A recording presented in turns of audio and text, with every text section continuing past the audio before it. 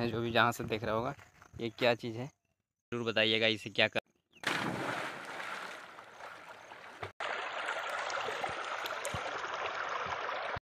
और अभी मैं अपने गाँव में हूँ और बहुत दिनों के बाद यार यहाँ आया हूँ और बहुत ही मज़ा आ रहा है, देखो, पूरा हरा हरा चारों तरफ़ धान और खेत नज़र आ रहे होंगे, यह है और ये मेरा गाँव है, आप देख सकते हैं। ये बहुत आबादी है इस गाँव में। तो यही हमारा गाँव है और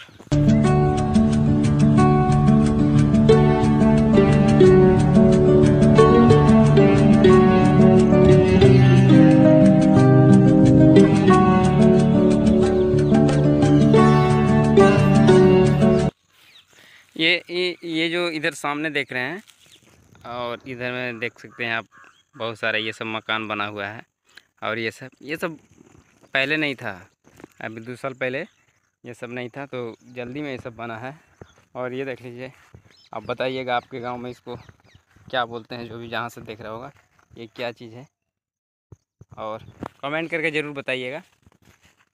इधर भी पूरा आबादी मतलब चारों तरफ़ बहुत ज़्यादा और ये एक पेड़ है तो यहाँ पे हम लोग ना जब छोटा छोटा से बचपन में तो यहाँ पे हम लोग खेलते थे।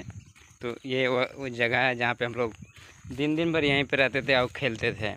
और मैं आपको दिखा दूँ, ये जो ज़मीन है, ये सब हम ही लोग का है। और इधर भी टोटल बहुत सारे ज़मीन है हम लोग का है। तो इस साल जो हुआ है ना तो बारिश नहीं हुआ तो उसके वजह से जो है ना कि धान के रोपाई वगैरह नहीं हो पाया है। तो मतलब इस साल सूखा हो गया है पूरा, चारों तरफ़ बारिश नहीं हुआ इसकी वजह से। तो खेत वगैरह रोपाए तो अभी पूरी इसी तरीके का है। वरना इस तरह पूरा धान वगैरह लगा हुआ रहता था तो अच्छा लगता था और देखने में। तो अभी मैं, अभी आपको देख और ये सब पेड़ आप देख सकते हैं उधर, वो टोटल हमारा है। और मैं आपको बताऊँ, ये इस पेड़ के बारे में आप लोग कमेंट करके ज़रूर बताइएगा, इसे क्या कहते हैं आपके यहाँ। तो ज़रूर से ज़रूर बताइएगा। और ये जो दिख रहा है, यही स्कूल है, इसी में हम लोग पढ़ाई करते थे। तो ये स्कूल आपको दिखाई दे रहा होगा।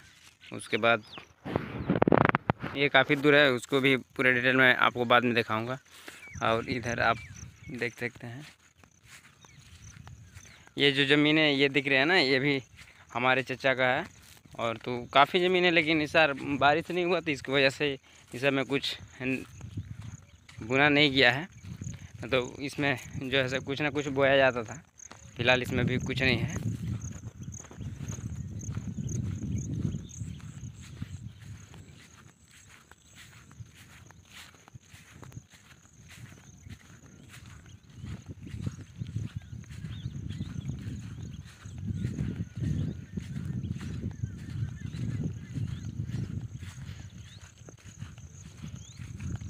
बाकी ये जो बंधा है ना कि ये बहुत गहरा है दोस्तों। ये काफ़ी गहरा है और बहुत बड़ा भी है। तो अब इसमें कभी सालों साल पानी मतलब सूखता नहीं है, इतना गड्ढा है ही और ये जो आप रास्ता देख रहे तो इधर भी है। तो ये बीच में बनाया गया है, पार होने के लिए। बहुत दिक्कत होता था, इसकी वजह से इसको बनाया गया है।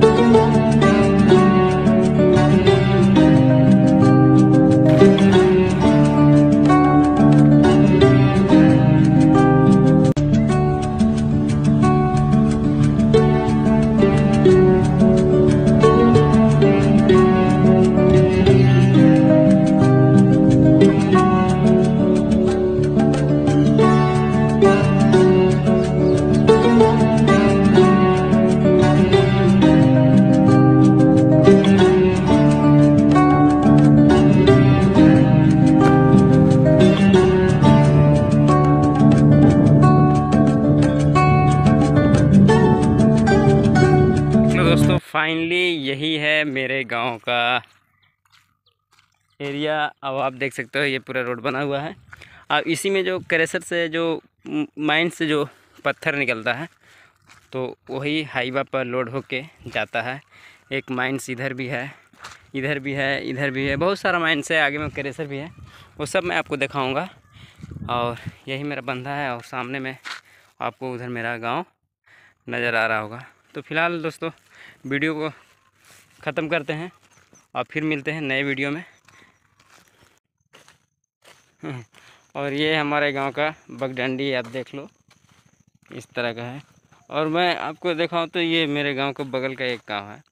पहले यहाँ पे मकान वगैरह दो चार घर थे, अभी काफ़ी बन गया यार। आने के बाद तो पूरा चेंजिंग नज़र आने लगा यार। वो दरअसल ये है कि बहुत दिनों के बाद मैं आया हूँ ना तो यहाँ पे उस तरह से दिख रहा है कि काफ़ी चेंजिंग दिख रहा है, क्योंकि लगभग दो साल के बाद मैं यहाँ आया हूँ। इसके वजह से चारों तरफ़ बहुत चेंजिंग महसूस हो रहा है। ये गाँव में दो चार घर थे, लेकिन बहुत सारे अब घर बन गए और इधर भी इधर भी घर बन गया इधर भी बन गया। पहले यहाँ पे